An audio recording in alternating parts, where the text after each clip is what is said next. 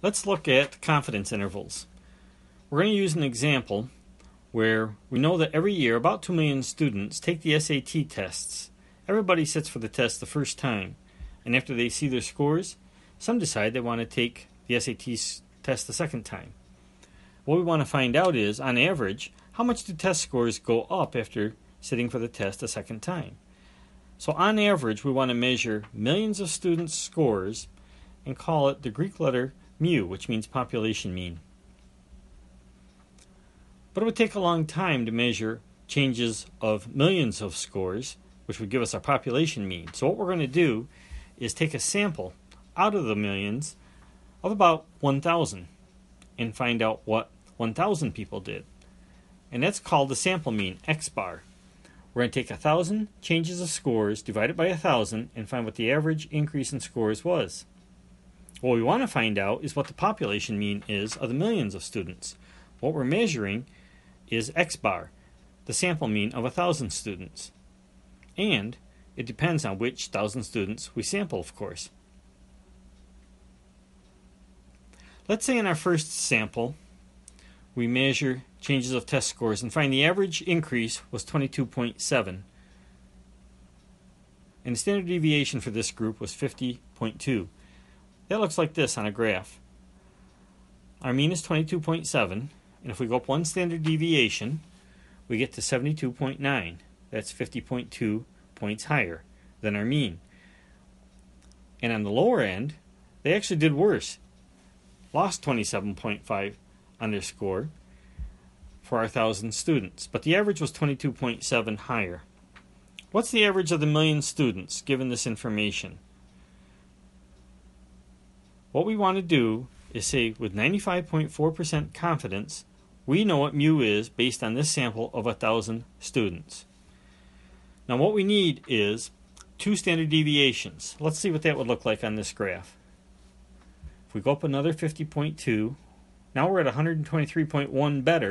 And if we go down two standard deviations, we're at 77.7 points worse. But what we've done is captured 95.4% of all test scores in this sample of 1,000 students. We can use this number, 95.4%, in two standard deviations to find our population mean. And how we do that is we create a range around our sample mean, and we can say with a confidence that we know what the population mean is. So the formula depends on two times the standard deviation. That's where we get our confidence level of 95.4%.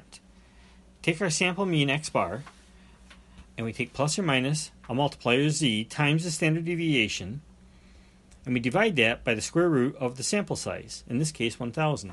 And z, our multiplier, in order to give us the confidence interval that we're looking for, 95.4%, we're going to multiply by 2. That's what we showed here. 2 times the standard deviation gives us 95.4%. So the sample mean plus 2 times standard deviation divided by the square root of the sample size, n, and we take the mean minus 2 times the standard deviation divided by the square root of the sample size, n. So for the first one, it's 22.7 plus 3.2. It gives us an upper bound of 25.9. And on the second one, we subtract 3.2 and get a lower bound of 19.5.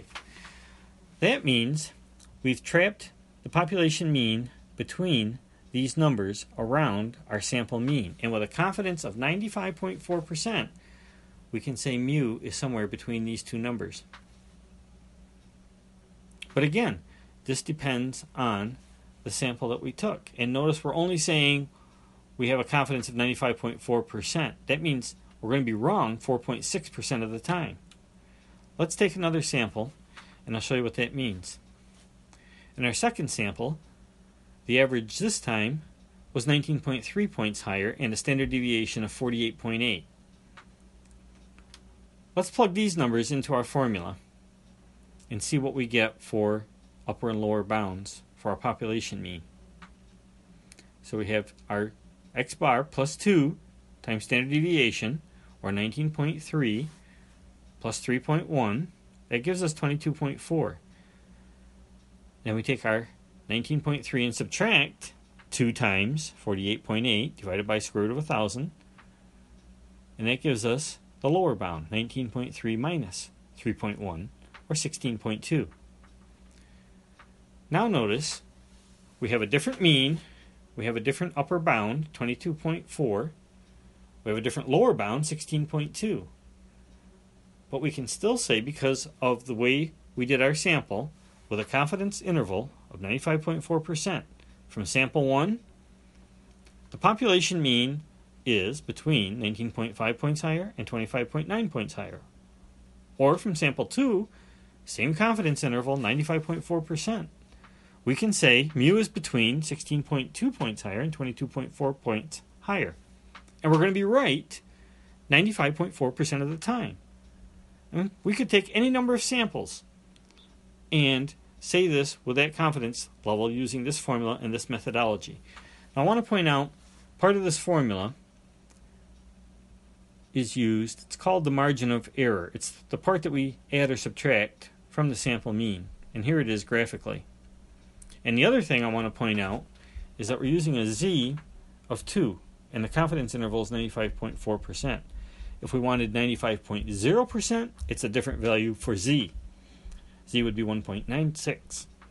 If we wanted 99.0%, we could use a multiplier for z of 2.576. In fact, we could find a lot of values of z with different confidence intervals, which we'll do in a different video. Please like this video, subscribe to MathCat. Thank you for watching.